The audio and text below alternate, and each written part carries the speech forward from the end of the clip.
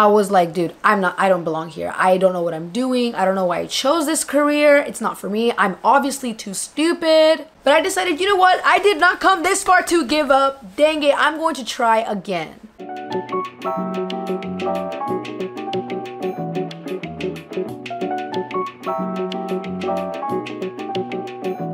Hey, today I'm gonna be sharing with y'all how I became a registered nurse. The journey was not easy, but I made it. Last month, I finished my Bachelor's of Registered Nursing with highest honors. Yes, I'm so excited that I'm finally done with school. I still get nightmares that I have a test somewhere out there that I haven't studied for. I wake up in cold night sweats. Before I begin, I do want to disclose that today's video is sponsored by Bill and Melinda Gates. I am also shook. I was asked to create a video inspired by the annual 2020 letter in which Bill and Melinda Gates reflect on some of the big risks that they took in global health and education over the last two decades with their foundation. They want to encourage us, you and me, to take big risks and swing for the fences and take advantage of those opportunities that could change our lives forever. So, in honor of the 2020 annual letter, this video will be themed around the topic of US education, specifically how I became a registered nurse.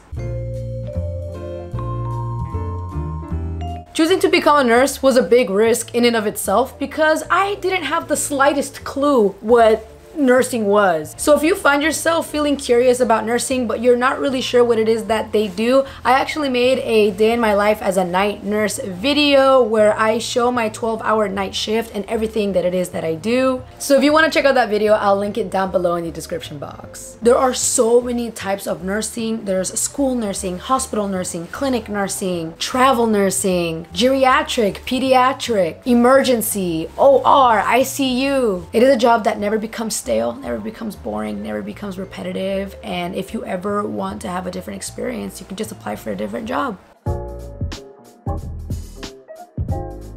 Now there are multiple paths you can take. You can go to a university, you can go to community college, or you can do an accelerated program. Accelerated programs have prerequisites and nursing school condensed. It's like putting coffee and Rockstars and Pepsi and Mentos in a can, shaking it and then releasing the gas. It's pretty intense, but you will be done faster. You could also go to university. I personally didn't take that route just because it was way too freaking expensive, but I highly recommend you check out the nursing program at your local community college college because you will be saving so much money and it really doesn't matter in the end because you're gonna have the same exact license as everybody else. Everyone has to take the NCLEX and that's all that matters. When you're looking for a college to do your prerequisites, I highly recommend you look for one that offers a cadaver lab. A cadaver lab is a lab full of corpses which are dead bodies that you can study muscles and organs on. I know it sounds really scary, um, and I actually told my teacher like, yo, is there any way I can pass this class without touching their bodies? no. But I ended up actually really enjoying the experience and I really feel like it really solidified my learning because I was able to see it and touch it.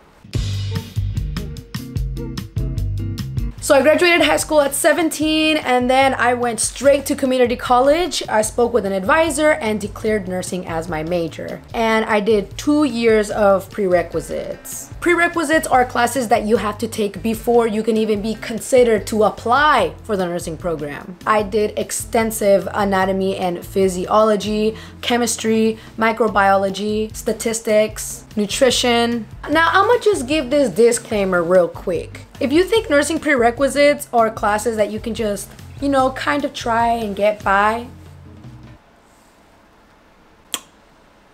No, if you want to get into a nursing program, you need to have good grades and you have to study your butt off. So the grades that you get on the prerequisites dictate how many points you get when you apply to the nursing program. Better grades give you higher points, which increases your possibility of being accepted into the nursing program. Also, if you have CNA experience, that actually increases your points for the application. And this is where I wanna give y'all some important advice, so listen up. If you want to become a registered nurse, I highly, highly, highly, highly, highly, highly, highly, highly, highly, highly recommend you work as a CNA. Working as a CNA is going to give you medical experience in general with bedside care, time management. It's also going to get your foot in the door for a nursing job. So I really wish that I had done that so I could have gotten a job a lot easier. So, after two years of lots of studying, I finally applied for the nursing program. So, I was able to finish all my prerequisites with straight A's, so I did have a 4.0 when I applied. But I just want to let y'all know you don't have to have a 4.0. I had to wait like three months until I got a response. You know that one scene in SpongeBob where he's so anxious he starts eating like a box of his own arms? Yeah, that's kind of how it feels like. And alas, after three months of strenuous and anxious waiting, I got my letter and I got accepted on my first try and y'all, I broke down crying. I was shaking, quaking, quacking. I thought I had finished the most difficult part, which was getting into nursing school, but boy oh boy was I freaking wrong. I had a 4.0 for four years and nursing school broke that. I actually got a C on my first test and I cried. you might be wondering why I was crying over a C grade and that is because C is actually considered failing in nursing school. And if you get a C in a class, you're held back an entire quarter. You cannot just retake that class. So yeah, getting a C, that's a big deal. I was like, dude, I'm not, I don't belong here. I don't know what I'm doing. I don't know why I chose this career. It's not for me. I'm obviously too stupid. But I just want to let you know that that's completely normal to feel. Nursing is not easy and it's going to push you. If you find yourself feeling discouraged, just remember you are not stupid. You are not dumb. You just have to learn how you learn. Some people are more visual, some people are more physical, some people are more social. Learn how you learn and apply that in your study methods. Nursing classes are not about memorizing things, it's about genuinely understanding and being able to apply the concepts. So I had to completely change up the way that I was studying. For studying, I highly recommend Quizlet flashcards. YouTube also has some amazing videos. If you're learning about a certain topic in school, just go to YouTube, type it in, and you're gonna find a bunch of lectures on that topic, and it helped me a lot. Take notes during lecture. Notes were my saving grace. I would take them home and go over them a bunch of times. Also, consider joining a study group. I had a handful of friends where we all exchanged notes and lectures, and it was a lifesaver.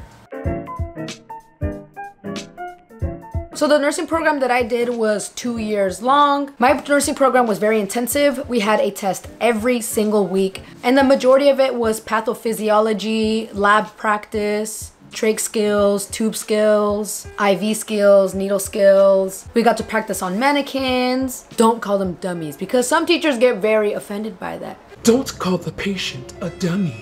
His name is Mr. Mannequin.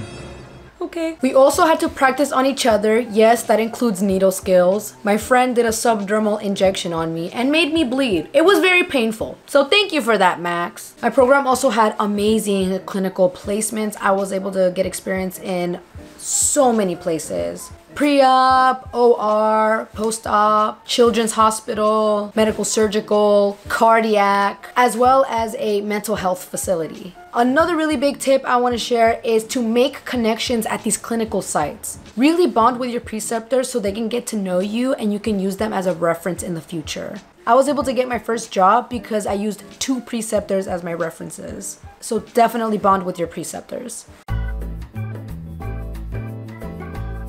So, after two years of pathophysiology, clinicals, weekly papers, weekly tests, and lots and lots of crying, I finally graduated nursing school and with highest honors. The amount of accomplishment I felt when I graduated, y'all, like, I can't even describe it. Four years of grueling and studying so I could apply for the NCLEX. That's right, more studying. So finishing nursing school does not make you a nurse. You need to apply for the NCLEX, which is the board exam to be given a license. So I studied for about three months, took the NCLEX, and um, failed. I'm not joking. I literally failed surprise, surprise, cried. And I called Martin, my husband. I was like, oh my, like, I can't believe this. I spent four of my years studying for this. I'm such an idiot. I knew that I chose the wrong career. I shouldn't have done this. I felt so useless, dumb. I was so heartbroken. But I decided, you know what? I did not come this far to give up. Dang it, I'm going to try again. Okay, well, this is what had happened. Turns out the reason I failed, everybody else was using a program called UWorld when I was using something else, and everyone that used UWorld freaking passed. I was so pissed when I found out. I was like, dang, y'all are fake. Y'all didn't even tell me about UWorld. I'm over here with some bootleg program that I thought was good. So I studied for my second NCLEX with UWorld. I did 100 questions a day, and with the questions that I got wrong, I would do additional studying, and I passed. I was feeling so good, y'all. I was so proud of myself. But my journey was not yet over. The standard for nurses is getting higher and higher every single year. So in the state that I live in, Washington State, nurses are required to have bachelor's degrees if they want to work in a hospital. Luckily, I had done a transfer degree at community college, so all those credits moved over to my local university, Washington State University, and I did the online RN to BSN program to get my bachelor's degree, which I finished last month. Also, I just got my first job. I'm gonna be in pediatric home health for medically fragile children and I start next week and y'all I'm so excited And that is it, folks. Five and a half years taking my bachelor's degree of registered nursing. Nursing is hard. It is not easy, but it is such an amazing, needed, and fulfilling job. So if you have it in your heart to want to be a nurse, I say go for it. Alright, y'all, so that is my journey on how I became a bachelor's registered nurse. Let me know down below if nursing is something that you're interested in, that you want to become, or something that you want me to talk more about on this channel. And again, thank you to Bill and Melinda Gates for sponsoring this video. Please check out their 2020 annual letter. They also talk about the big risks that they're gonna continue to take in the next two decades with climate and gender equality. Take big risks, swing for the fences, take advantage of those opportunities that could change your life forever. Thank you for watching and I hope you have a great day. Bye!